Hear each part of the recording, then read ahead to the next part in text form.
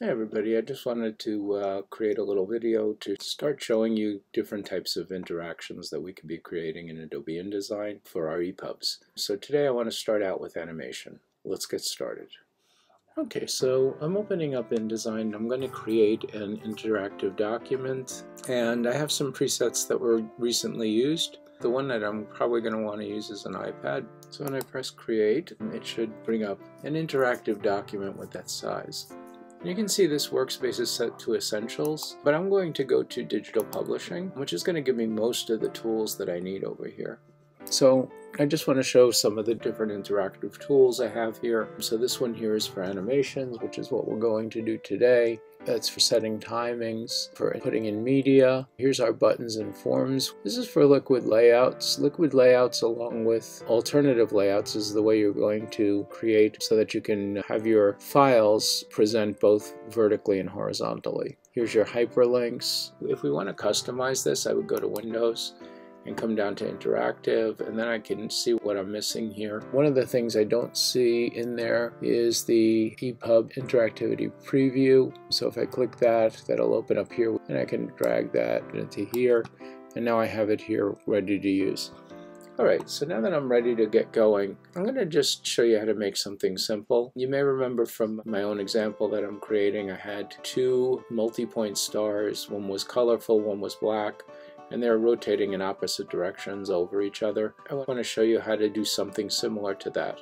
So let's get started. First thing I want to do is I just want to put a background color here. So I'm going to take the rectangle tool and just add a rectangle in the background that fits the shape of my screen. And I'm going to add a color.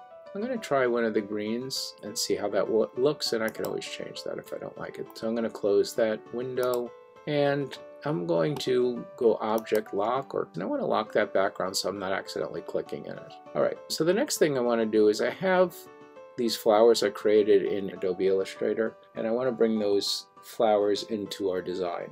I'm going to go Command D to place and then I'm going to navigate to my clipart and inside my clipart I have the blue flower so I'm going to open that one and let's place it over here and now I want to place the pink flower, so I'm going to click off that.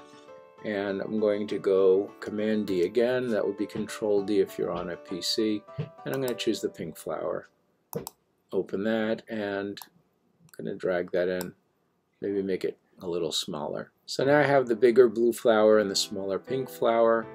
And what I want to do with that is I want to put some animations on those. So this video is going to show us how to do that and a couple of different options for our animations. Okay, I didn't love the uh, background. I changed it to a lighter pink background, which is going to conflict with this flower, but I want to put this flower and line it up with this flower, so it may not be an issue. I want to select both flowers, and then I want to align center both vertically and horizontally. Distribute. There we go. Um, so I have the one flower on top of the other. I'm not loving that. So let's offset it this time and we'll have them kind of overlap. Alright, so I'm going to have some overlap here where we're going to see both flowers a little better and we're going to actually see the animations. Alright, so now how do I animate these? So I want to work one at a time. Start with this foreground image and I'm going to come to my animation panel which is over here. So as you can see there's no animation on this right now. Okay, so having selected the one, I'm going to come back here and it says Pink Flower AI is the name and then the preset I can choose with the drop down menu. So let's say on the first part of the animation I want it to bounce. So I'm going to go to bounce and select bounce right and this is going to show what that bounce is going to look like so I can come down to the interactive preview and reload it and I should be able to see what that bounce is going to look like. So it's going to start again and it's going to bounce like that. I'm not saying that I want it to stay that way, but this shows the path that it's bouncing. For now, I'm just going to leave that, and I'm going to now animate the second flower. So I click on the blue flower alone, make sure I only have the blue one selected, and I'm going to come back here to here, and it says blue flower AI, and I'm going to choose the animation, and for this time I'm going to rotate it so it's going to rotate 180 degrees clockwise, and I can loop that if I want to. And I'm going to go from on page load, and then I have this whole properties section that I could open up. So I'm going to, instead of rotate it 180, I'm going to physically change that to 360 so it goes all the way around. And for now, I'm just going to leave that as my setting. And let's come back here and take a look and see what that looks like now if I, when we hit reset. So right now that's going to move and then that's going to turn around 360. So it's got a little bit of a slow in and slow out to it and I can adjust the speed of it, I can adjust the way it's rotating. I'm going to come back to here and it says the duration is one second. Let's bring that up, make it take longer so that it rotates slower. Let's do four seconds and let's preview it and see what that looks like.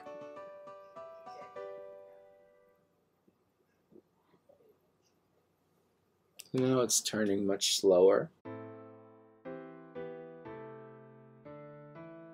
Let's look at the adjustments and see what else we can do with it. So it's got a preset of ease in and ease out. If we put none here, that should then turn at a more constant rotational speed. And just making sure on page load, that we don't need a trigger of any sort. Let's take a look at that now. And I'm going to click here and see if we get a better rotation.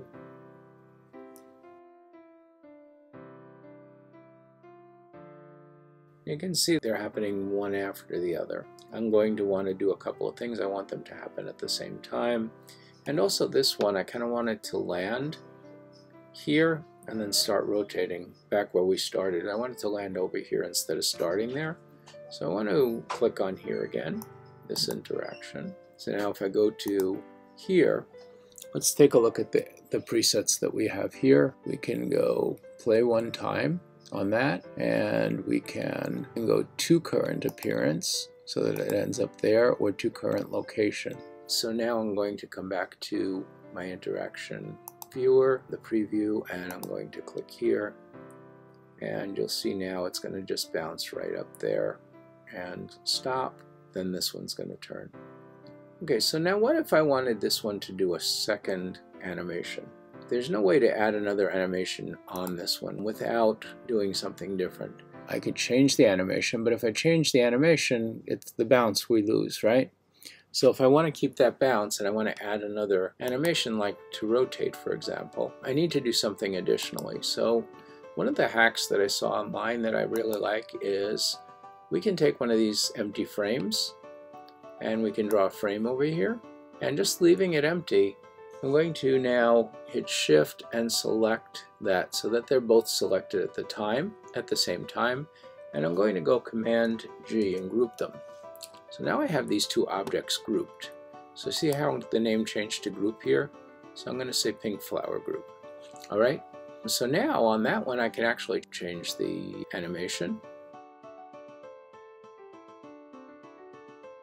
But I want to put this on rotate and again it doesn't much matter. I'm going to change it here to 360 and I want it to continue looping.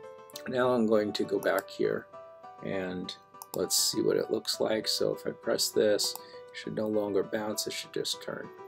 Now this one is going much faster than the other one. If I like that, I could leave it, or I could come here and I can adjust the timing and speed. So clicking on this object here, we're back to pink flower.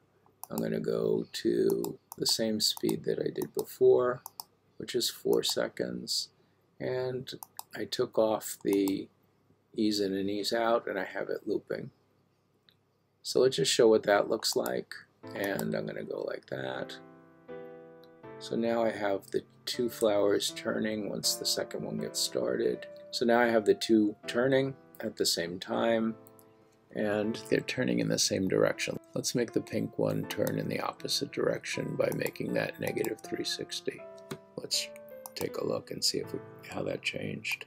Okay, so now I have that one turning in the in the counterclockwise direction while the other one turns clockwise.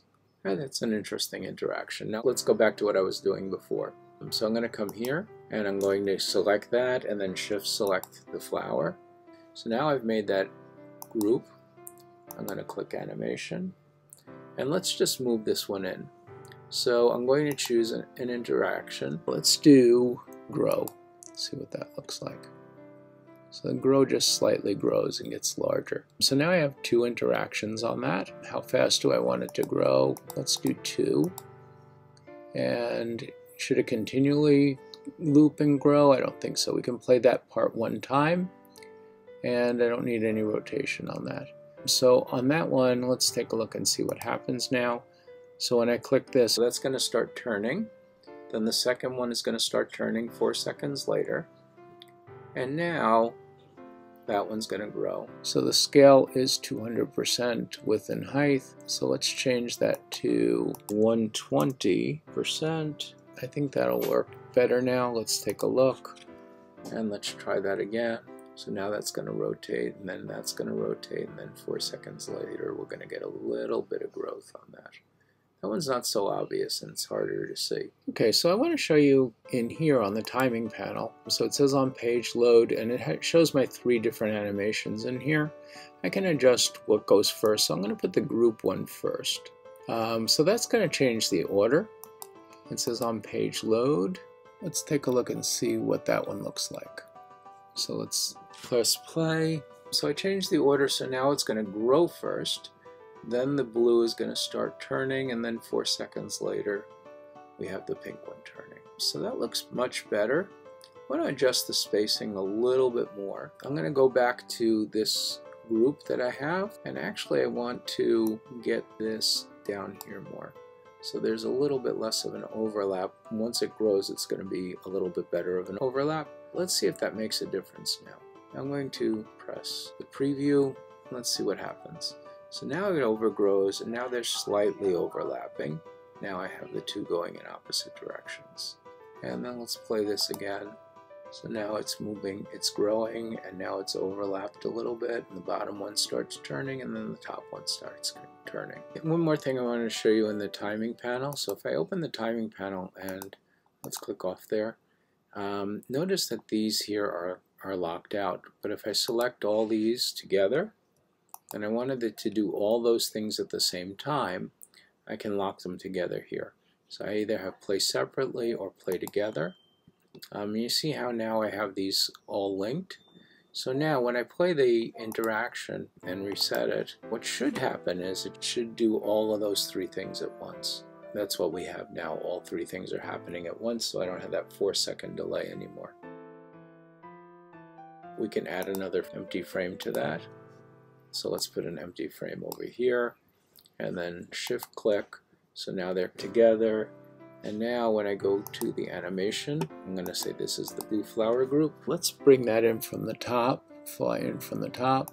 And we want it to go to the current location. And on page load, that's a pretty quick drop, one second. Let's do one and a half seconds. Uh, now we can come back here. We have the blue flower group. Let's move that to the top. And notice how by dragging it up there, it got put in with the other ones. So now when we play the preview, we should see another animation on the blue, where the blue is going to drop in. And there we go.